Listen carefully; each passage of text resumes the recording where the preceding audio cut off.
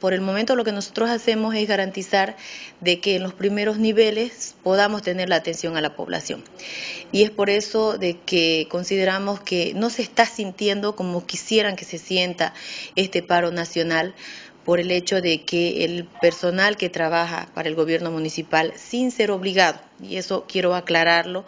nosotros eh, como profesionales jóvenes de esta nueva etapa trabajamos por convicción y trabajamos porque tenemos ese compromiso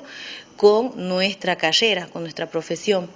Y es así de que en los primeros niveles tenemos trabajando a más de 310 personas que se encuentran contratadas por el gobierno municipal, tanto en el primer nivel como en el segundo nivel.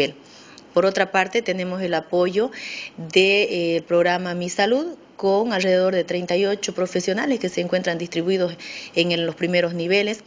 y alrededor de 49 profesionales que pertenecen a la Brigada Médico Cubana, dentro de los cuales están eh, profesionales en salud que están en los primeros niveles y también tenemos los especialistas en el Hospital Rubén Celaya.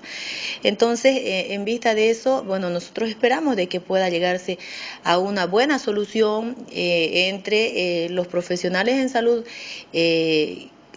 como un ente que se encuentra bajo un sindicato y el Ministerio de Salud. Porque si bien en Yacuiba no está golpeando y no se está sintiendo eh, el impacto que se está dando con este paro, pero sí en otras partes del país. Gobierno Municipal del Pueblo.